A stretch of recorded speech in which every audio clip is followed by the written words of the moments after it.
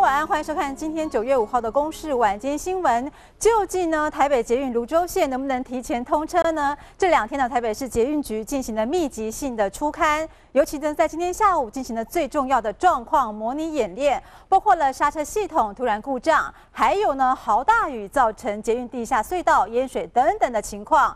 除了要测试硬体设备够不够安全之外呢，也要考验人员的应变能力。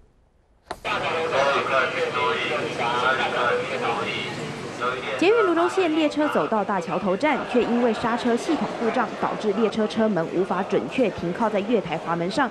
这时候，捷运人员紧急启动应变措施，并用广播系统来引导疏散车厢内的乘客。这是要模拟捷运通车后各种可能突发的状况。除了刹车系统故障外，对面车道警报器也大响，原来是外头的大豪雨造成隧道内有积水的情况。捷运清空中心必须在第一时间紧急断电，还要清空所有乘客与车辆，并降下重达二十五吨的防水隔舱，以防止大水灌进地下隧道。整个自动操作系统需要约五分钟的时间。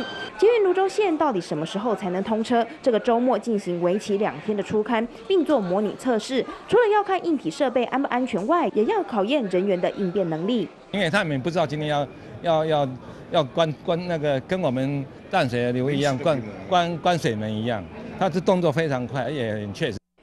第一天初刊委员们认为部分车站动线以及标示不够清楚。第二天的模拟演练，委员们则觉得表现还不错。泸州线全线总长有十二点五公里，从板南线的忠孝新生站开始，在台北市有六个车站。进入台北线后，先经过三重，再一路往泸州走，有五个车站。